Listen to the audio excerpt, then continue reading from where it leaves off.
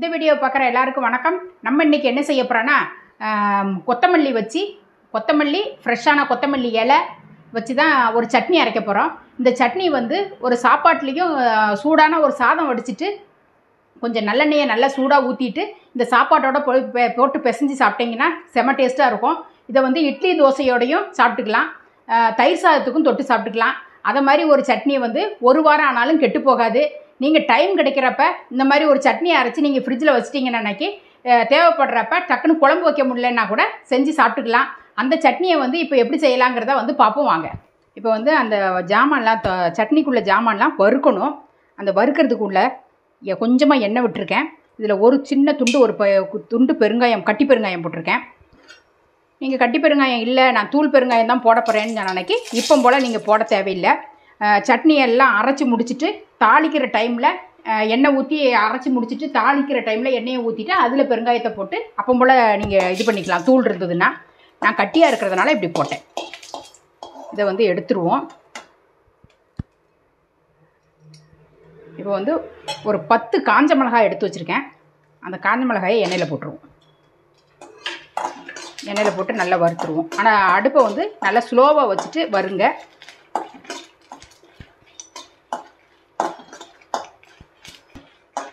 ரொம்ப கருக்க வேண்டாம். இந்த அளவுக்கு இருந்தால் போதும் எடுத்துருவோம். நான் எடுத்து மிக்ஸி ஜார்லேயே சேர்த்துட்டேன். இது சீக்கிரத்தில் ஆறிடும் இப்போ வந்து இதில் வந்து நான் வெறும் சட்டியிலேயே எண்ணெய் ஊற்ற தேவையில்லை. வெறும் சட்டியிலேயே தான் வறுக்க போகிறேன் இதில் வந்து மூணு ஸ்பூன் மல்லி. அதாவது மல்லின்னு மல்லி விதைன்னு சொல்லுவீங்க இல்லை தனியான்னு சொல்லுவீங்க அது வந்து மூணு ஸ்பூன் எடுத்திருக்கேன். அதை உள்ளே போட்டுருந்தேன் உள்ளே போட்டு நல்லா அது வந்து மணம் வர்ற வரைக்கும் நல்லா வறுக்கணும். இது வந்து இந்த மல்லி வந்து நல்ல அப்படியே கலர் மாறி நல்ல வாசனை வந்து வெளியில் வரும். அந்த அளவுக்கு இருக்கும்போது இப்போ எடுத்துருவோம். எடுத்துகிட்டு நான் அதையும் மிக்ஸி ஜார்லேயே சேர்த்துட்டேன். இல்லைன்னா ஒரு பிளேட்டில் கூட கொட்டி நீங்கள் ஆற வச்சுக்கோங்க. நான் அப்படியே மிக்ஸி ஜாரோட தூக்கி ஆற வச்சிடலான்னு பார்த்துட்டேன். இப்போ இதில் வந்து ஒரு கா சும்மா ஒரு பிஞ்சு இப்படி முள்ளி போட்டால் எவ்வளோ வெந்தயம் வருமோ அந்த அளவுக்கு நான் வெந்தயம் எடுத்திருக்கேன். இந்த சட்னிக்கு வந்து வெந்தயத்தோட டேஸ்ட்டு வந்து நல்லா வறுத்து போட்டிங்கன்னா நல்ல டேஸ்ட் வரும். இதில் வந்து வெந்தயம் வந்து லைட்டாக பொரிஞ்சால் போதும் செவந்தால் போதும். இந்தளவுக்கு செவந்துட்டு இப்போ வந்து முக்கால் டீஸ்பூன் கடுகு போடுறேன். இந்த கடுகு நல்லா வெடிக்கட்டும். மல்லியோட போட்டு வறுக்காதீங்க. மல்லியோட போட்டு வறுத்தீங்கன்னு நினைக்க மல்லி வந்து வறுபடுறதுக்கு லேட்டாகும் இது வந்து ஒரு செகண்ட்லேயே இந்த பொரிஞ்சிச்சு பாருங்கள் இந்த மாதிரி பொரிஞ்சிரும். அப்புறம் வந்து இதில் வந்து கசப்பு தன்மை வந்துடும் அதனால் நான் தனித்தனியாக வறுக்கிறேன். அவ்வளோதான் இதையும் அது உள்ளே கொட்டிடுவோம்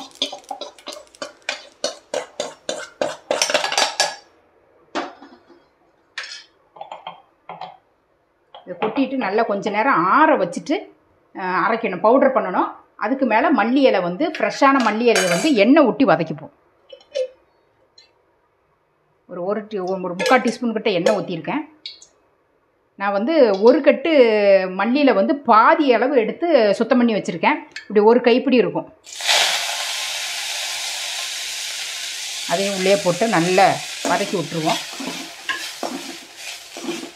இதில் ஒன்று கொஞ்சமாக எண்ணெய் ஊற்றிட்டு இந்த புளியை வந்து லேசாக பிச்சு போட்டுருவேன் புளி வந்து இந்த நெல்லிக்காய் சைஸ் எடுத்திருக்கேன்.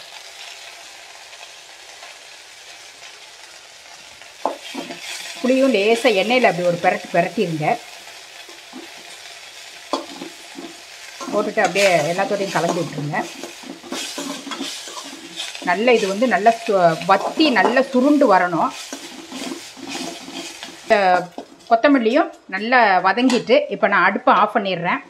அடுப்பை ஆஃப் பண்ணிவிட்டு இதையும் ஒரு பிளேட்டில் கொட்டி ஆற வச்சுட்டு ஃபஸ்ட்டு வந்து அதை வந்து பவுடர் பண்ணணும். ஏற்கனவே அரைச்ச மல்லி பெருங்காயம் கடுகு வெந்தயம் இதை மிளகாய் காஞ்ச மிளகாய் எல்லாத்தையும் ஒரு ப பவுடர் பண்ணிவிட்டு அதுக்கு மேலே இதையும் வச்சு கொஞ்சம் தண்ணி ஊற்றி அரைச்சி எடுத்துகிட்டு வந்துடுறேன். இப்போ வந்து நான் அந்த மல்லி எல்லாத்தையும் போட்டு நல்ல ஒரு ஓட்டு ஒரு ரெண்டு தடவை நான் சுற்றி எடுத்துகிட்டு வந்துட்டேன். இந்த அளவுக்கு நல்லா குறை குறைன்னு இருக்குது இதோட இப்போ மல்லி வதக்கி வச்சதையும் புளியையும் ரெண்டையும் சேர்த்து உள்ளே போட்டுருவோம். போட்டுட்டு இந்த சட்னிக்கு தேவையான உப்பையும் போட்டுருவோம். போட்டுட்டேன். போட்டு கொஞ்சம் தண்ணி விட்டு அரைச்சிட்டு வந்துடுவோம் கொஞ்சமாக விட்டுருக்கேன். அதுக்கப்புறம் கொஞ்சம் கொஞ்சமாக விட்டு விட்டு அரைச்சிக்கலாம். வந்து நான் சட்னி வந்து அரைச்சி எடுத்துகிட்டு வந்துட்டேன். கொஞ்சம் கொஞ்சமாக தண்ணி விட்டு இந்த அளவுக்கு அரைச்சி எடுத்துகிட்டு வந்துட்டேன். ரொம்பையும் நைஸாக இல்லாமல் ஓரளவு கொஞ்சம் குறை குறைன்னு அரைச்சி எடுத்துகிட்டு வந்திருக்கேன். இப்போ வந்து நல்லெண்ணெய் வந்து தாளிக்கிறதுக்கு ஒரு ஒன்றரை டீஸ்பூன் கிட்ட விட்டுருக்கேன். கடுகு போடுறேன். ஒரு சும்மா ஒரு கால் டீஸ்பூன் சும்மா கொஞ்சோண்டு உளுத்தம்பருப்பு. உளுத்தம்பருப்பு நல்லா செவந்து போச்சு. கடுகு வெடிச்சிட்டு கொஞ்சம் கருவேப்பிலை போட்டிருக்கேன்.